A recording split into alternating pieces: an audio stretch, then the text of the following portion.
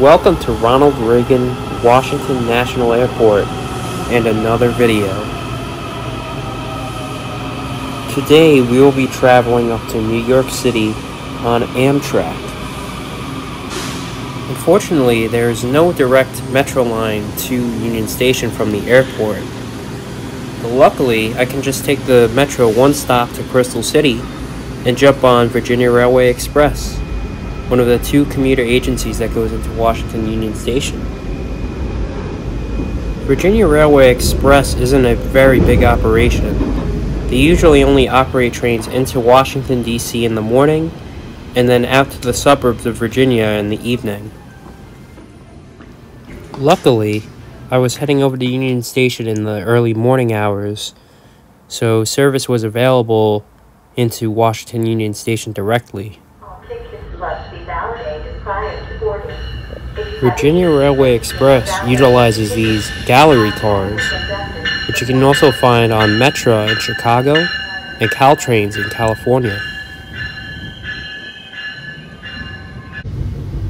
From Crystal City, it's only about a 10 minute ride into Washington Union Station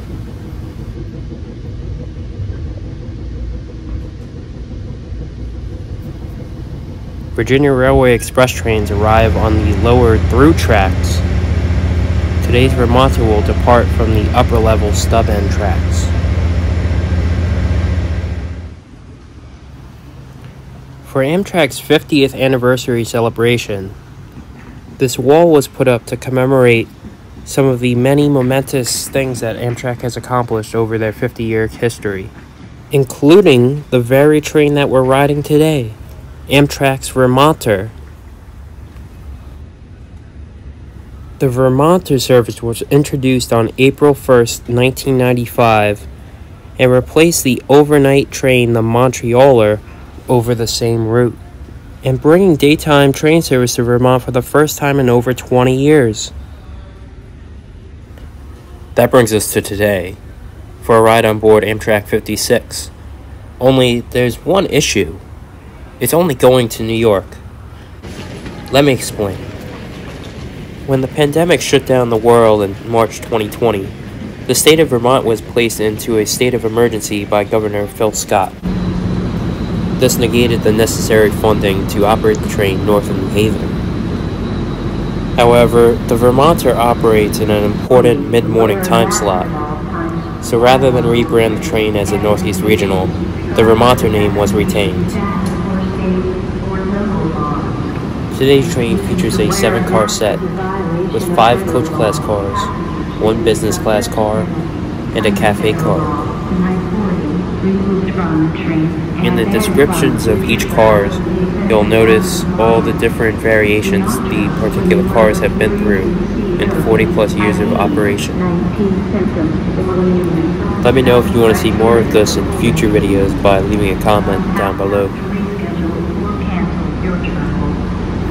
Amtrak just placed a huge order with Siemens to replace these aging Amfleet cars. I think it's important to document the history of these cars prior to their departure and really their importance to Amtrak over the last 40 plus years. These two cars in the middle of the train, Coach Cars 82 733 and Cafe 43 370, share an interesting tidbit of history. On the 5th of February 2001, they were both in the train set of Amtrak Empire Service Train 286. On that fateful day, the train that these cars were a part of rear-ended a CSX freight train. Everyone survived the crash, but extensive damage was done to the equipment, including the two Amfleets on this train today. Today's trip will cover 226 miles, take 3 hours 21 minutes, making 8 station stops. The full trip from Washington, D.C. to St. Albans, Vermont covers 609 miles and takes just under 13 hours. This is one of the longer routes to utilize these higher density Amfleet 1 coaches Do you think Amtrak needs to utilize the lower density Amfleet 2 coaches for the passenger traveling the longer distance on this trip? Amtrak currently has about two dozen lower density Amfleet 2 coaches in storage currently that could improve passenger comfort on some of these longer routes.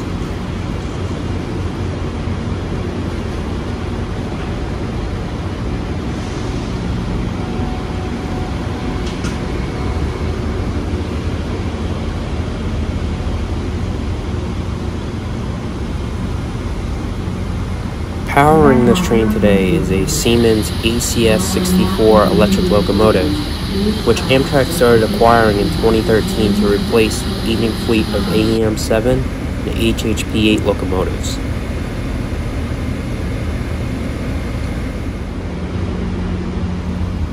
Today we will be riding in the first car, Amfleet 1 Coach Class 82687. This car seats 72 people in a 2-2 configuration. So let's take a look at the seats. These cars now feature leather seating. Each seat features a tray table and a seat back pocket. And there are two power outlets. So the person on the outside gets to really get to know the person next to them. These cars feature a reasonable amount of legroom for a three to four hour trip, but anything over that, it starts to feel a little bit cramped. Here's a side-by-side -side comparison between the Amfleet 1 coach class and the Amfleet 1 business class, which are both available on the Vermonter. Amfleet 1 business class cars have 60 seats in them compared to the 72 in a regular coach class car, which offers a little bit extra leg room and just a little added comfort on a longer trip. In a future video, I'll take a deeper dive into the different Amfleet 1 business class options currently available. Now sit back and enjoy some of the sights and sounds of a trip on board the Amtrak Vermonter.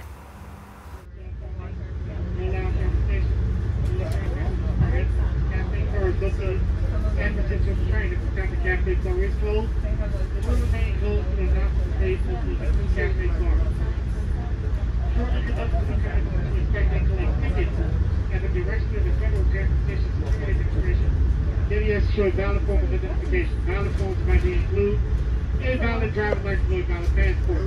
Passport person 13 has a mobile device. Have the barcode agency scan on the domestic. Also the brightness of the simple device so they can scan the easier. If you have any questions on your trip, please feel free. And if you from that trip we have to assist you. Next station stop is the Charleston. The Road is our first station stop. All tickets please.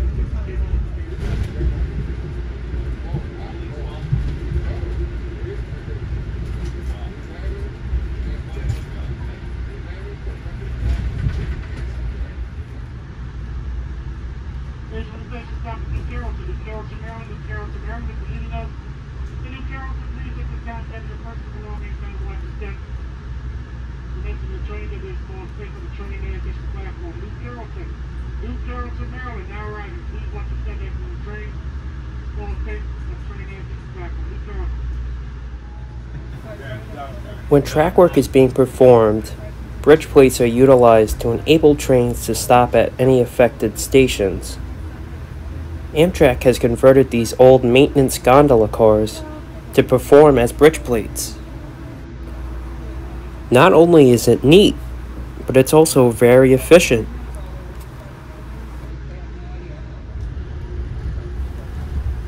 Just after leaving Baltimore, we passed the Norfolk Southern Bayview Yard.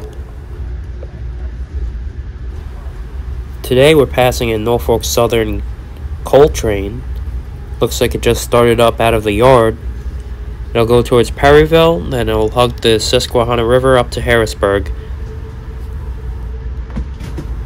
Outside of short local freight jobs, seeing mainline freight trains on Amtrak's Northeast Corridor, especially during the daytime hours, is incredibly rare.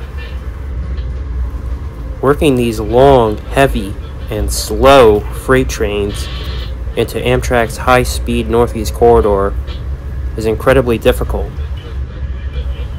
Train dispatchers have the difficult task of navigating these trains into specific time slots that will not affect passenger train movement.